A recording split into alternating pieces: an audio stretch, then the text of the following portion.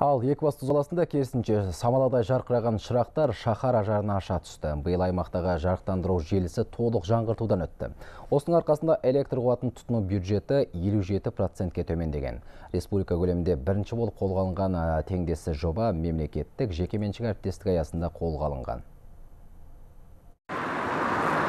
Көшелерін жарықпен қамтамасыз етуге құйылған жеке инвестициялық қаржы 735 миллион теңгені құрады. Бүгінде тозығы жеткен 3,5 мыңдай жарық шамдарды жарық диодты шамдар алмастырды. Сонымен қатар 82 шақырымдық электр сымы жаңартылды.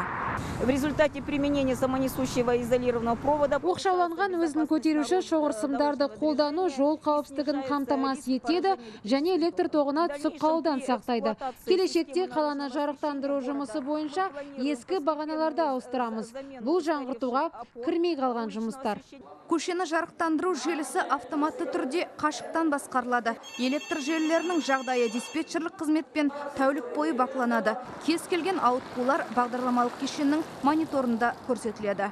осы жаңа маркалы қойылған SL шамдарының басқа да газ разрядты шамдардан айырмашылығы оның ұзақ мерзімді жұмыс істеу қабілеті және де жарық шашуын ағынның екі есе артуы және де жылдық есеппен алғанда жану көлемінің 6 сағатқа артуы.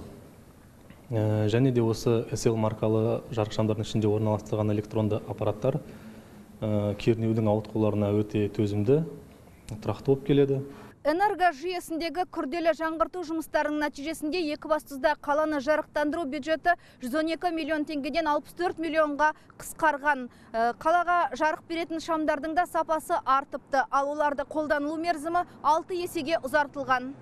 Теңдессіз жоба облыс орталығында жалғасын тапты. Қаланы сыртқы жарықпен қамтуды модернизациялау ісі осы жылдың соңына қарай аяқталады. Қарлығаш Қасиетова, Самат Оспанов, Алексей Минецкий, Хабар 24, Павлодар облысынан.